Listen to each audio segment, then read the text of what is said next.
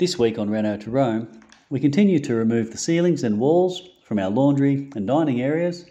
We concentrate on the front of the house where we try and save the plaster ceiling rose.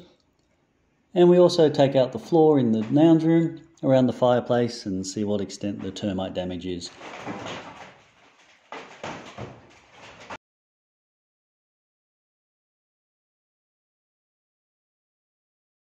Alright guys, well before we get into this week's video, we promised we'd show you some of the 3D images. So we've got some images to show you, so we'll throw those up on the screen now. First one that we'll have is just an overall view of the house itself. As you can see, we have the four bedrooms towards the front of the house, and then we go to the back of the house. As you come out of the hallway, you'll have the kitchen on your right, lounge room on your left, through the dining room towards the back of the house. And in the back right hand corner, we'll have the laundry and the bathroom. Now those are all existing services, so we're going to keep those where they are. Here we have the first bedroom, or bedroom number one. And then we have bedroom number two. So we have a queen bed in this one with the, uh, the wardrobe as well. Um, big enough wardrobe for a couple. And then we have the other two bedrooms, which are bedrooms three and four. Um, we've got single beds in these ones, uh, smaller wardrobes, but they're all the same sizes, pretty much a mirror image uh, of each other. Bedroom four is a little larger than bedroom three. As you move into the back, you can see the kitchen here. It's a basic U-shaped kitchen. Uh, there's a peninsula on one side, which will give some seating for breakfast bar type scenarios. We'll probably be going with open shelving on one side just to try and keep the room as light and airy as possible without closing it up too much. We have really you know, high ceilings in here, it'll be about 2.6, so a little bit above average. And on the left hand side of the kitchen you'll have the fridge and the pantry. As we go further into the house you'll see on the left of the kitchen we have the lounge room. That will be a Lounge room, the fireplace is going to remain at the moment. Uh, it will probably be non-operating and we'll just paint it out and use some nice candles and we'll have the TV sitting above that at a nice eye level when you're sitting on the couch.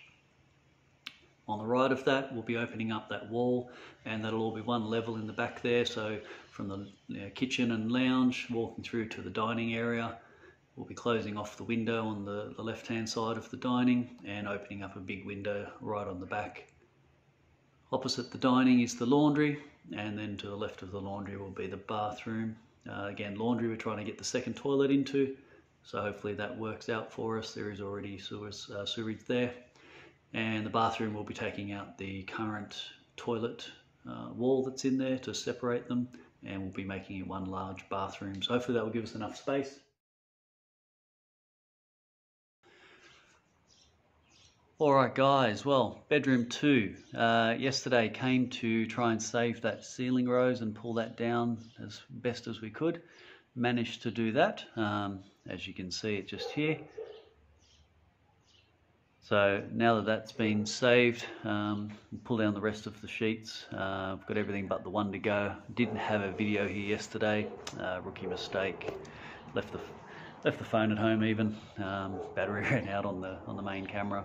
So anyway, didn't get any footage of that, uh, but we'll get some footage of it today, just pulling down that last sheet. Finished pulling the ceiling down. This is the last one in the whole house. Uh, and then it's going to be pretty much time to sweep up, clean up, and uh, yeah, start looking at putting back in some footings, some bearers, some joists, put the flooring down, get our levels right, and uh, start to look at the rebuild. So We've got some of the, the plans as you saw, so we're going through some of that. Drop us some ideas and some thoughts on any of those if you guys have some. Uh, that would be great. Well, decent thoughts today. Pulled that ceiling down and I think we might be able to vault it. So go home, have to store up some plans, do some measurements and see what we can come up with. But oh, till tomorrow.